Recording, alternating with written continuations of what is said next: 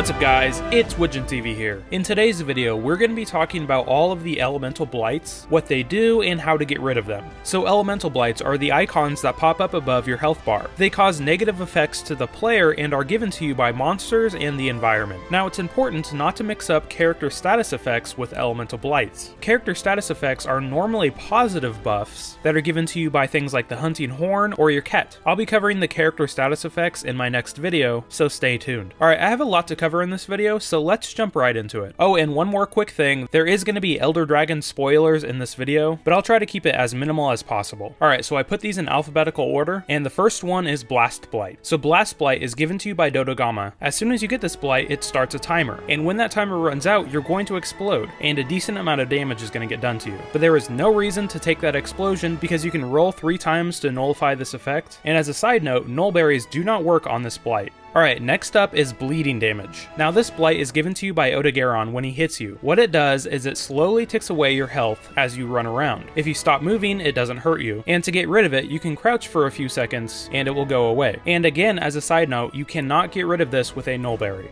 Alright, so next up we have Dragon Blight. Now, Dragon Blight can be a sneaky one. You should be constantly looking up above your health bar for its icon. It can be sneaky because all it does is it lowers your elemental damage and lowers the amount that your weapon builds up its status effects. And like I've said in previous videos, if you're using something like a Great Sword, this doesn't matter all that much. But if you're using a weapon that highly depends on elemental effects, like the Dual Blades or the Insect Glaive, then you should be terrified of Dragon Blight. But as long as you keep an eye out for that dragon icon and keep your bag stocked with nullberries, because you can instantly remove this with nullberries, then you'll have success fighting Xeno'jiiva. Alright, next up we have Effluvial Buildup. Now this one is given to you by Vaal Hazak when you stand in his dust or sulfur or whatever this stuff is. This builds up over time and it can be given to you when he hits you. It is a pretty devastating blight because it cuts your health bar in half and forces you to leave combat. But luckily this one can be taken care of with a nullberry again, so just pop a nullberry and a mega potion and you'll be back into the fight. Alright, next up we have the very popular Fire Blight. This one's given to you by a bunch of different monsters and the environment. Luckily, it can be cured quickly by rolling three times or a nullberry.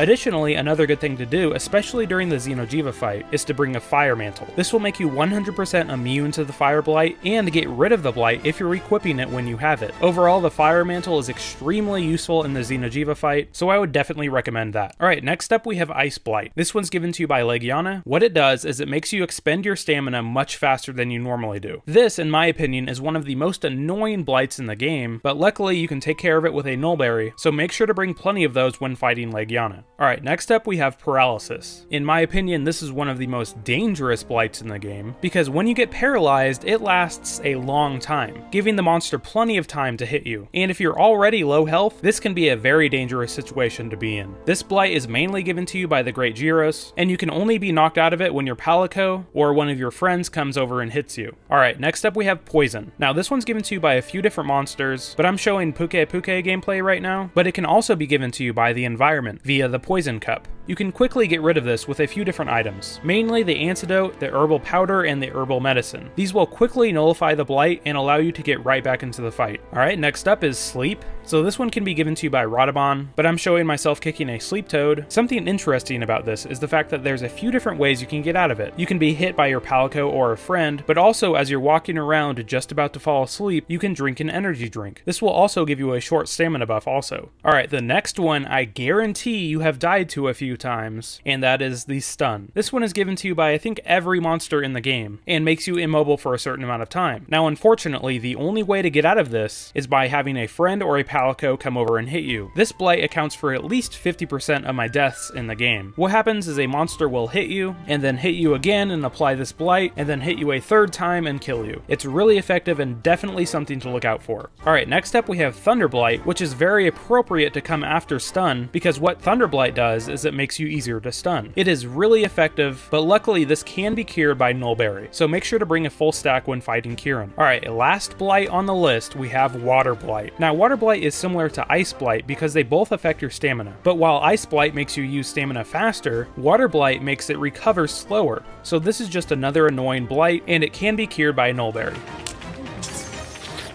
Alright, that's all the elemental blights in Monster Hunter World. Like I said, I'm going to be making a character status effect video, so make sure to be on the lookout for that. Alright, I hope everybody enjoyed the video. If you did, make sure to like and consider subscribing. Also, consider following me on Twitter. It's the best place for me to keep in contact with you guys. But anyway, this has been Widgeon TV. Thanks for watching, guys.